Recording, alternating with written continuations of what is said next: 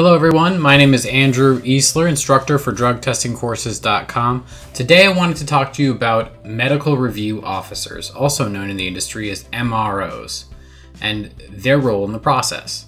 Now, an MRO is a physician. They're an MD or a DO, uh, medical doctor or doctor of osteopathy, who has been specially trained on top of getting their medical degree uh, to basically review and interpret drug testing results.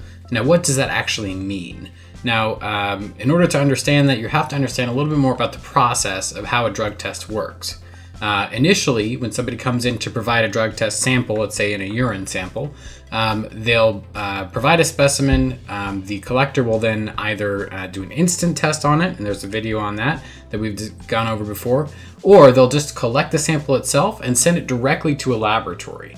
And then the laboratory will then uh, run a test on it, and then if anything comes up in that in that test, they'll prepare a report with all of the individual concentrations for whatever substance or substances um, show up on that report. And that report then will be forwarded to this special person called the MRO or the medical review officer. And that person takes that report and says, okay, so I see that we have um, a certain concentration of amphetamines in this person's report. Um, so we need to contact that person and figure out what the deal is. Why why do we have amphetamines? So the MRO will she'll call up the employee and say, "Hey, Jonathan, this is uh, Dr. Smith. I received your results for your drug test. Um, it shows that you have a concentration of amphetamines in your system. Is that a surprise to you?" And then uh, the employee will then turn around and respond with either Yes, it's absolutely surprising. I was just at a concert last weekend and, you know, I didn't know what was going on. Obviously, in that case, um, if that was a substance that was um, basically uh, prevented or um, prohibited underneath that drug and alcohol for workplace policy, then that person would end up having a positive result. Okay, now the alternative is that um, the employee responds with something different. No, that's not actually uh, surprising to me. I have a prescription uh, for Adderall and that usually shows positive on my amphetamine report. And so uh, the employee will then send that information, the prescription information, the referring physician's information, the pharmacist information directly to the MRO, who will then confirm all of that information and then run some calculations on her end to determine whether or not there is a valid medical explanation for that specific amount of concentration of amphetamines in that in- employee's uh, results. Okay.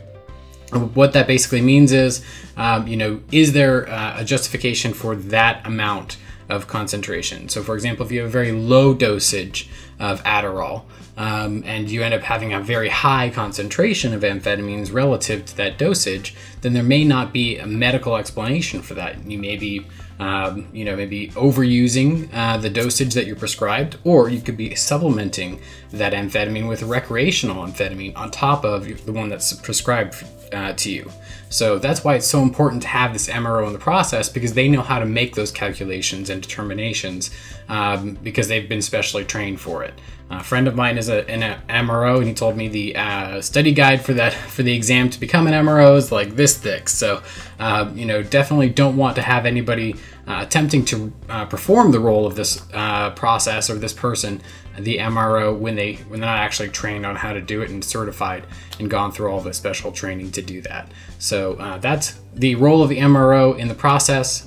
if you guys have any more questions, let us know. please subscribe to our channel and have a great day.